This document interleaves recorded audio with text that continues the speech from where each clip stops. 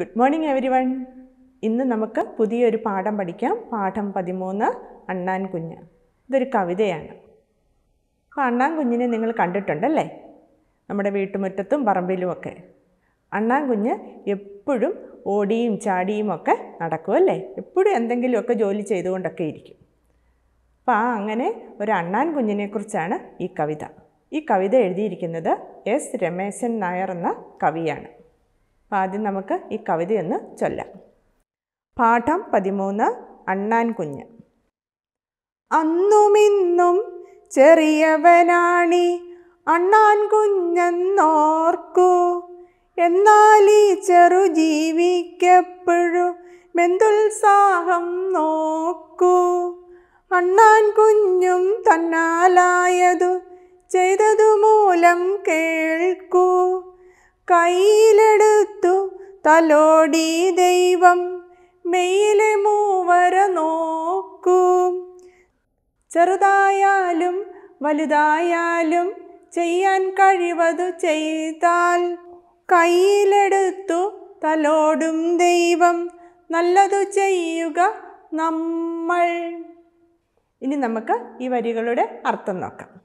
അന്നും ഇന്നും ചെറിയവനാണി അണ്ണാൻ കുഞ്ഞെന്നോർക്കൂ. എന്നാൽ ഈ ചെറു ജീവിക്കെപ്പോഴും മെന്തുത്സാഹം നോക്കൂ.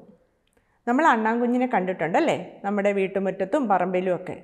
ഇപ്പോൾ ചുമ്മാ ഇരിക്കുവാണ് അണ്ണാൻ കുഞ്ഞ്. അല്ല എപ്പോഴും എന്തെങ്കിലും പ്രവർത്തികളിൽ ഏർപ്പെട്ടുകൊണ്ടിരിക്കും. ഒന്നെങ്കിൽ ചാടി മറിഞ്ഞൊക്കെ നടക്കും മേളിൽ കയറും താഴെ ഇറങ്ങും അങ്ങനെയൊക്കെ അണ്ണാൻ കുഞ്ഞ് ചെയ്യും. ഇനി നമുക്ക് അടുത്ത വരികളുടെ അർത്ഥം നോക്കാം.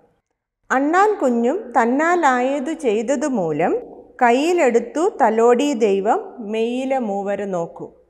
അണ്ണാൻ കുഞ്ഞ് തനിക്ക് പറ്റുന്നതുപോലെ ചെയ്തതുകൊണ്ട് ദൈവം അണ്ണാൻ കുഞ്ഞിനെ കയ്യിലെടുത്ത് തലോടി. അങ്ങനെ മെയ്യിലെ മൂവര അങ്ങനെ അണ്ണാൻ കുഞ്ഞിന്റെ ശരീരത്ത് മൂന്ന് വരയുണ്ടായി. എന്താണ് പറഞ്ഞത്?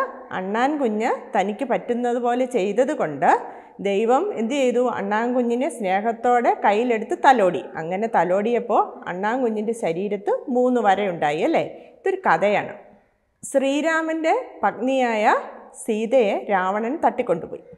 ആ സീതയെ രാവണനിൽ നിന്ന് മോചിപ്പിക്കണമെങ്കിൽ ഒരു സമുദ്രം കടന്നു പോകണം. അങ്ങനെ പോകണമെങ്കിൽ ഒരു ചിറ കെട്ടണം. അപ്പോൾ ഈ ശ്രീരാമനെ ഈ ചിറ കെട്ടാൻ വേണ്ടിയിട്ട് എല്ലാ ജീവജാലങ്ങളും സഹായിച്ചു. ആ കൂട്ടത്തിൽ നമ്മുടെ ഈ ചെറിയവനായ അണ്ണാൻ കുഞ്ഞുമുണ്ടായിരുന്നു. അങ്ങനെ ശ്രീരാമൻ അണ്ണാൻ കുഞ്ഞിന് കയ്യിലെടുത്ത് തലോടിയപ്പോൾ മൂന്ന് വരയുണ്ടായി. ഒരു കഥയുണ്ട്. അപ്പോൾ അതാണ് ഈ കവി ഈ കവിതയ്ക്കകത്ത് പറയുന്നത്. ഇനി നമുക്ക് അടുത്ത വരികളുടെ അർത്ഥം നോക്കാം. ചെറുതായാലും വലുതായാലും ചെയ്യാൻ കഴിവത് ചെയ്താൽ കയ്യിലെടുത്തു തലോടും ദൈവം നല്ലത് ചെയ്യുക നമ്മൾ. അണ്ണാൻ കുഞ്ഞ് ചെറുതാ അല്ലേ? എന്ന് പറഞ്ഞതുപോലെ വലിപ്പത്തിലൊന്നുമല്ല കാര്യം. നമ്മൾ ചെറിയ വലിപ്പമാണെങ്കിലും വലിയ വലിപ്പമാണെങ്കിലും അതുപോലെ തന്നെ നമ്മുടെ കഴിവ് ചെറുതാണെങ്കിലും വലുതാണെങ്കിലും നമ്മുടെ കഴിവിനനുസരിച്ച് മറ്റുള്ളവരെ സഹായിക്കുക അല്ലെങ്കിൽ നമ്മളുടെ കഴിവിനനുസരിച്ച് നമ്മൾ പ്രവർത്തിക്കുക. അങ്ങനെ നമ്മൾ നല്ലത് ചെയ്യുക. അപ്പം നമ്മളെ ദൈവം കയ്യിലെടുത്ത് തലോടുമെന്നാണ് കവി പറയുന്നത്.